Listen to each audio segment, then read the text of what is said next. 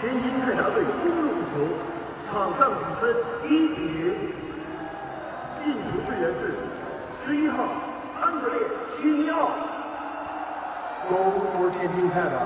At player number 11, Andrew The score now is 1 to 0.